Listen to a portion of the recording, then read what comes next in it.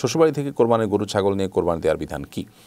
শ্বশুরবাড়ি থেকে ছেলেরা যদি শ্বশুরবাড়ি থেকে কোরবানির গরু, ছাগল ইত্যাদি ডিমান্ড করেন এবং সেটা চেয়ে নেন কোরবানি দেওয়ার জন্য, তাহলে সেটা কোরবানি হবে না, এটা চাঁদাবাজি হবে এবং এর ফলে দূরের কথা, উল্টা বরং গুণা হবে।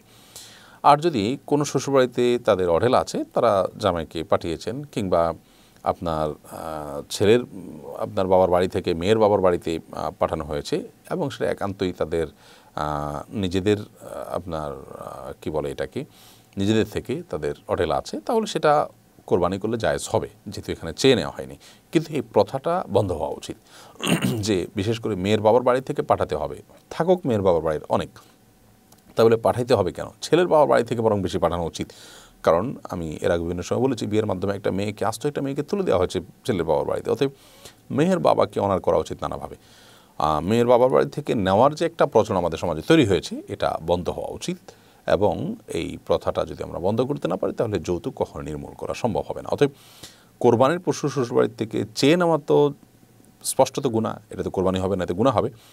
আর যদি আকার ইঙ্গিতে আপনি চান কিংবা চাইলেন না, আপনি সামাজিক প্রথার অংশ হিসাবে পেলেন তাহলে সেটাও অ্যাভয়েড করা উচিত। বিনয়ের সাথে ফিরিয়ে দেওয়ার মতো ইমানি শক্তি আমাদের থাকতে হবে।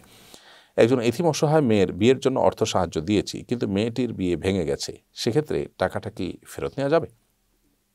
একজন এতিম অসহায় মেয়ের বিয়ের জন্য যে অর্থ সাহায্য দিয়েছেন বিয়ে ভেঙে গেছে সেটা যদি আপনি ফেরত নেন, নিতে পারেন। কিন্তু না নিয়ে যদি তাদের অন্য কোনো কাজে লাগাবার সুযোগ দেন, অথবা যখন বিয়ে হবে, তখন খরচ করার জন্য অনুমোদন দিয়ে রাখেন এবং সেটা যদি সুযোগ থাকে, আপনি সেটা করলে অবশ্যই বেটার কার উপর কোরবানি করা ওয়াজিব?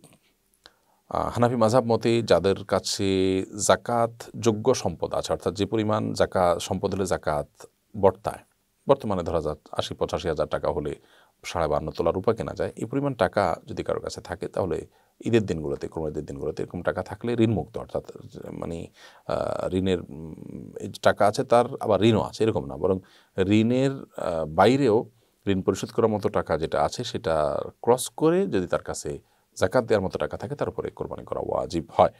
এটা এক বছর পূর্ণ হওয়া জরুরি না। জাকাত যেরকম এক বছর পূর্ণ হতে হয় এটার কোনো নেশাব পূর্ণ হতে মানে নেশাবটা আপনার বছর পূর্ণ হতে হয় না, বরং ওই রকম টাকা থাকলে তার উপরে জাকাত ওয়াজিব হয় ফোকা হানাফের মতে।